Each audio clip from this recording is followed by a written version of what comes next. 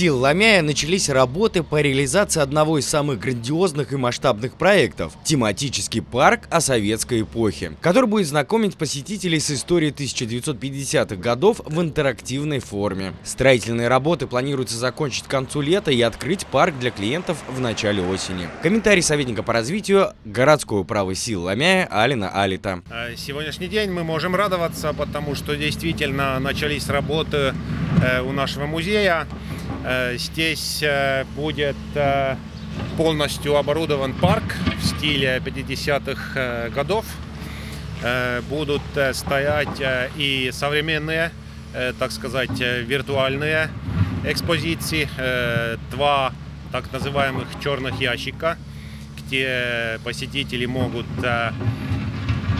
скажем так, вернуться, вернуться времени с помощью виртуальных очков.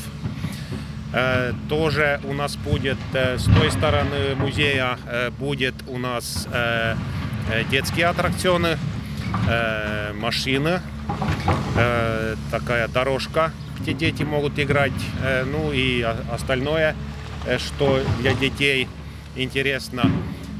Тоже будет переделан первая часть музея, первая сторона музея. И тоже мы будем отремонтировать э, некоторые помещения э, на первом этаже э, музея.